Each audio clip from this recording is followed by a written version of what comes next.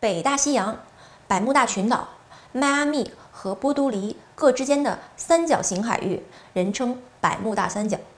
从1945年开始，数以百计的飞机和船只都在这里神秘的失踪。位于四川的黑竹沟，因其诡异与神秘，被称为中国的百慕大三角。黑竹沟有很多古老的传说，很多人进去之后就再也没有出来过。人们把这里发生的一系列事情称为“四川黑竹沟灵异事件”。那么，在黑竹沟究竟发生了什么诡异的事情呢？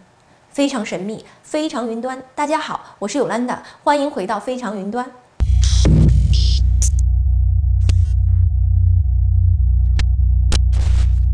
四川黑竹沟位于乐山峨边彝族自治县境内林区两座山谷之间，距峨边县城六十一公里。黑竹沟面积约一百八十平方公里，彝族语言称其为“死货”，就是“死亡之谷”的意思。当地的彝族和汉族百姓把黑竹沟称为“魔鬼三角洲”，这“魔鬼三角洲”之称绝非浪得虚名。多少年来，不知有多少人在黑竹沟有去无回。早在一九五零年初，国军在川陕战败西逃，胡宗南部的半个连来到这一带，毕竟是国军主力精锐，虽然是败兵，但还是武器精良，弹药充足。他们准备穿过黑竹沟继续西逃。当地彝族百姓告诉他们，黑竹沟里面有猛兽，进去的人都出不来。带兵的连长，一个当兵的粗人，可是不信这个邪，心想我们有几十支冲锋枪，还有狙击步枪、轻机枪，还怕野兽？于是他一意孤行，带队进入黑竹沟。可谁知进沟后一个人也没有出来，全部失踪了。难道是真的有可怕的野兽，甚至可以抵挡精良的武器吗？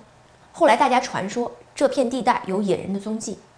多年来，关于野人的传说有很多，最多的在湖北神农架，但都没有找到确切的证据。黑竹沟有野人的传说同样让人难以置信。八十年代，有彝族同胞声称见过一只一米多的巨鸟，翅膀打开，遮天蔽日。有专家认为，这极有可能是幸存的翼龙。翼龙是与恐龙同时期会飞的爬行动物，六千五百万年之前就灭绝了。如果真的出现在黑竹沟，那也太神奇了。这位专家的观点稍微有点信口开河，毕竟恐龙灭绝了，这是全人类都知道的，没有可能会有幸存的恐龙类生物还生存于地球。当然，因为神奇，所以传说很多。还有人声称见过两头兽，这就更匪夷所思了。我想，两头兽应该只是神话中存在的吧。一九九一年，四川省川南林业局组织了近二十人的队伍进入黑竹沟进行森林资源勘察。勘察队在完成预定工作撤离下山时，遭遇到罕见的大雾。当时进山的勘察设计员朱开双对那时的情景至今记忆犹新。他回忆说，下午五点多。山里起了雾，森林里能见度极低，只能凭借地图和指南针引导方向，但怎么也找不到下山的路。如果没有得到及时的救援，可能永远走不出来了。直到出山后对照地图才发现，下山时所走的路比正确路偏差了近三十度。最让人惊讶的是，勘察队携带的七个指南针全部指错了方向。据说，一九九五年六月，中国人民解放军测绘兵某部的两名战士取到黑竹沟运粮，结果也神秘失踪了。部队出动两个排搜索寻找，最后官方给出的结论居然是搜索失败，没有找到人。当初参与搜救失踪解放军的彝族老人阿罗瓦尔介绍说，其实当时他们是找到了人的。进山测绘的解放军战士不是传闻中的两人，而是四人。在沟里找到他们时，一个人已经牺牲。另外三个人奄奄一息，当时阿罗瓦尔还亲自背出来一名生命垂危的战士，但是后来为什么官方对外界采取信息封锁的呢？想必这里面一定是有故事的。一九九七年七月，中国四川省林业厅森林勘探设计一大队来到黑竹沟勘测，宿营于石门关附近。石门关其实是两块高约四十米的石壁，石壁之间不到十米宽。酷似敞开的大门，所以叫石门关。石门关之所以神秘莫测，一是因为其地势险要，二是因为其地形奇特。当地人把这里叫做鬼门关。向导说，石门关内山势险峻，怪石林立，稍有不慎就可能失足坠落悬崖。身强力壮的高个子技术员老陈和助手小李主动承担了闯关任务。第二天一早，他俩背着测绘包，每人用纸包上两个馒头，便朝石门关内走去。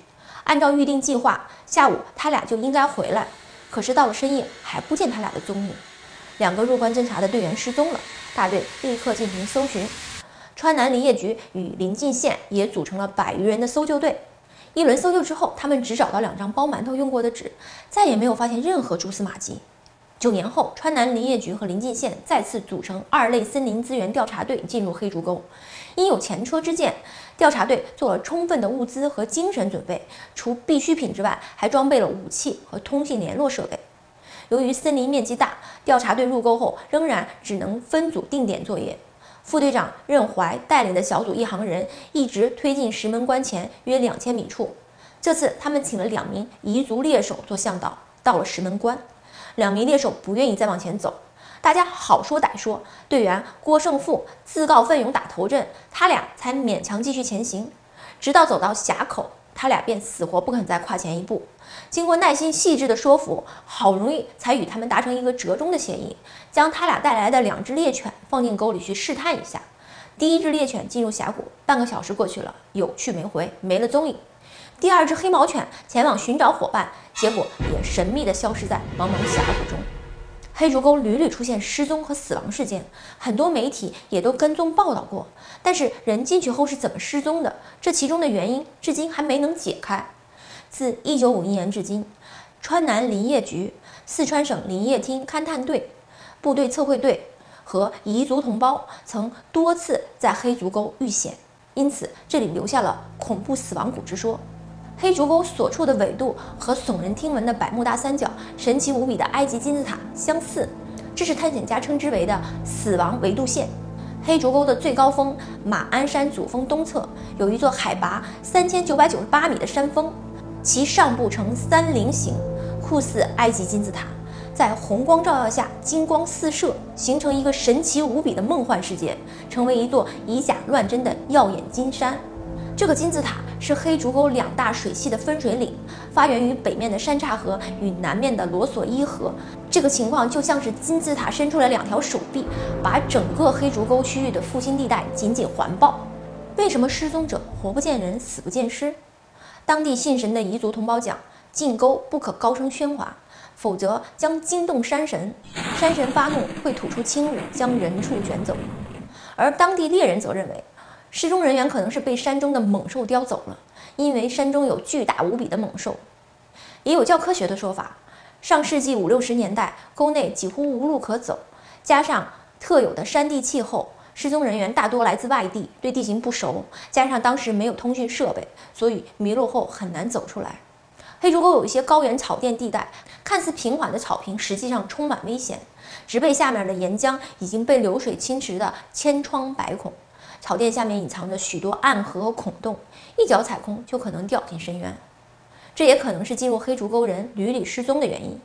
也有人认为黑竹沟内存在某种磁场，影响了进山人员携带的仪器，所以造成了众多失踪事件。黑竹沟山谷地形独特，植被茂盛，再加之雨量充沛、湿度大，经常迷雾缭绕、浓雾紧锁，沟内阴气沉沉、神秘莫测。考察者分析，迷雾很可能是人畜入沟死亡失踪的原因。进入这深山野谷的奇雾之中，地形又不熟，就难免落入死亡谷的陷阱。黑竹沟发生的失踪事件远没有百慕大三角洲那么多，但这失踪事件也十分诡异。究竟是什么原因造成进入黑竹沟的人失踪，至今仍然是一个谜。好了，今天这期非常云端就到这里，欢迎订阅、留言、转发，我们下期见。